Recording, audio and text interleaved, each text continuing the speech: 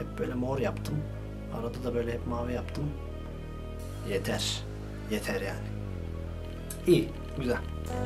Evet arkadaşlar, tekrardan hoş geldiniz. Bugün açıkçası Ezel type bir beat yapmak istiyorum. Bu ne tarz olur? Ezel'in tabi yaptığı birçok tarz var. Fakat son zamanlarda sanırım biraz daha böyle reggae ile afro trap karışımı, traple de böyle karışık e, farklı güzel bir sound var. Not a Day diye bir şarkısı çıktı galiba bugün. Baya güzel, hoşuma gitti. O tarzı olmasa da biraz Ezel'in seveceği tarzda ritimler kullanarak bir beat yapmayı düşünüyorum.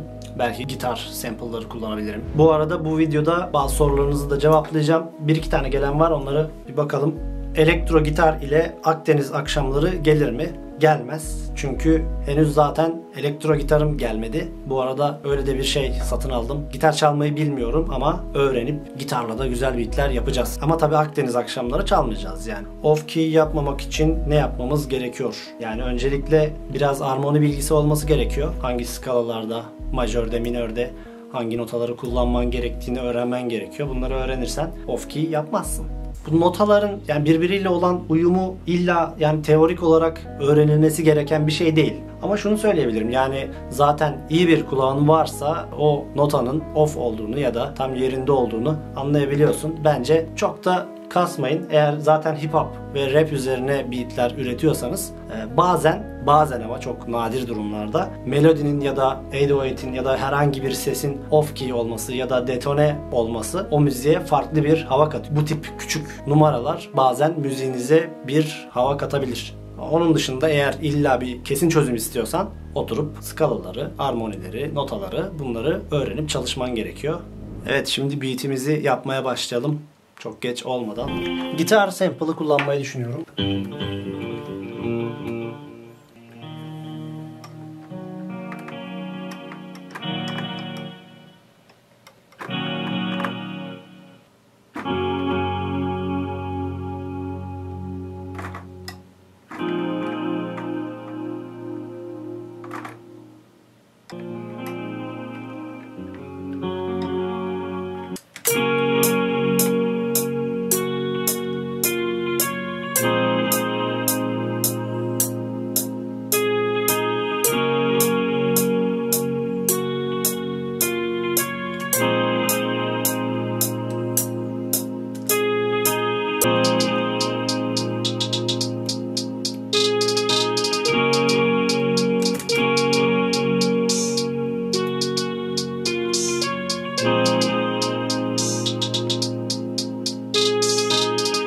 Hi-hat, snare ve perküsyonları oluşturdum. Şu an çok güzel gidiyor. Şöyle bir sonuç oluştu. Şimdi kick'i ve 808'i yazarak kemiğini oluşturmuş olacağım.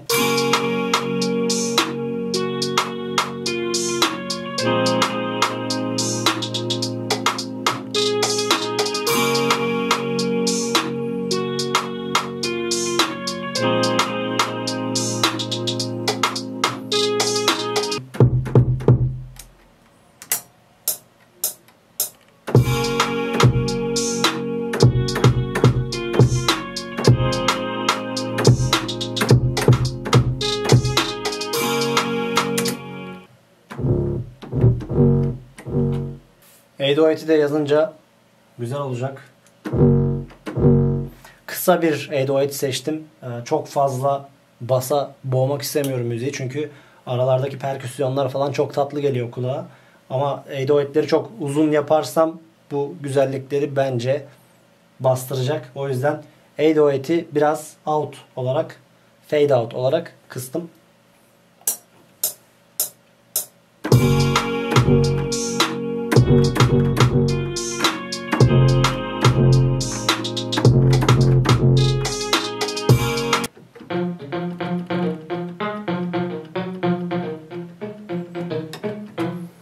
Arkaya çok tatlı bir elektro gitar sound'u buldum. Ritme ve diğer seslere çok güzel uyum sağladı. Yani her şey sadece melodi yazmakla da bitmiyor aslında. Seslerin birbiriyle olan uyumu çok önemli bence. Ve bu sesin de bu gruba çok iyi uyduğunu düşünüyorum. Bakalım siz de aynı düşüncelerisiniz. Müzik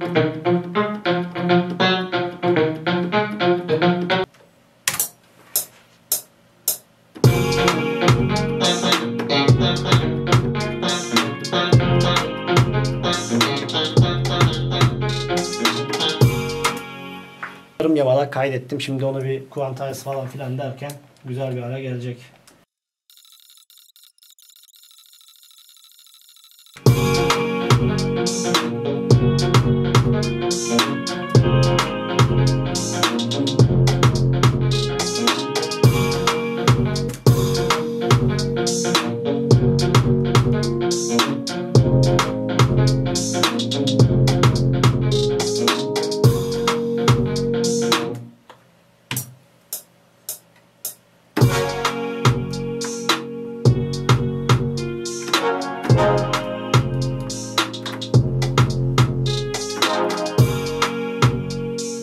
Böyle. Bence acayip de güzel oldu.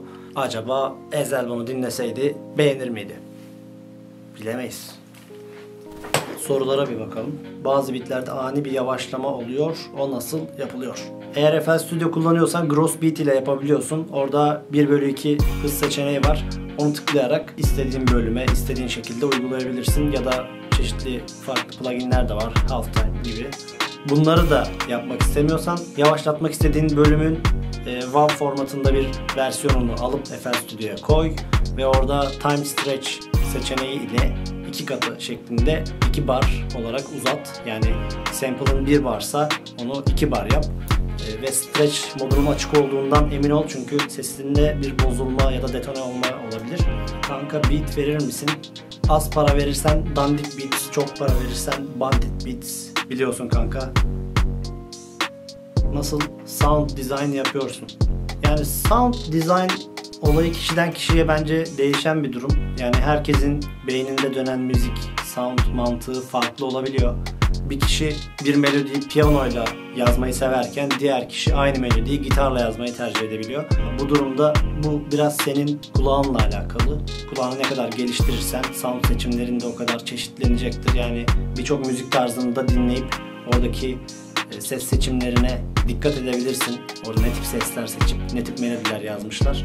Bunları eğer iyi kavrarsan e, ileride yapacağın işlerde kolaylık olur senin için ve sound oluşturma ya da sound seçimi konusunda kolaylık olur. Daha zamandan kazanırsın yani. Şahsen ben müzik yaparken e, müziğin tarzına göre bir bakıyorum yani house müzik yapıyorsam seçeceğim sesler belli. Benim kafamda yani hazır bir şekilde bekliyor o sesler. Sadece onları gidip pluginlerden nerede ne var onları bulup çekip alıyorum.